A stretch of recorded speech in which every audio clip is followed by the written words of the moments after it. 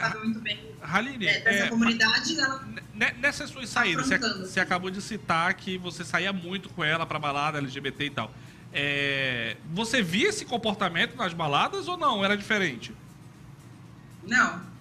Cariúcha sempre foi muito pra frente, muito alegre. A gente sempre brincou, dançou. Eu realmente fiquei sem entender esse, esse ataque ao Lucas. De verdade.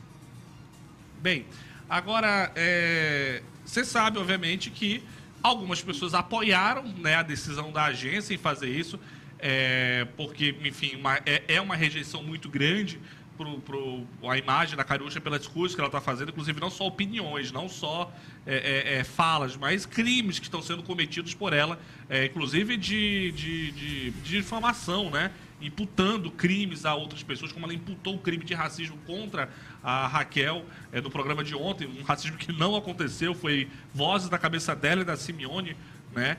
É, realmente é muito ruim. Porém, teve gente que acabou criticando é, é, a atitude da agência de ter rompido com ela, com ela dentro da fazenda, ou seja, sem ter uma conversa direta com ela. E era bom, é bom você usar esse espaço também para explicar, né? É, um, claro que você já acabou de explicar os motivos, a gente super entende de fato, né?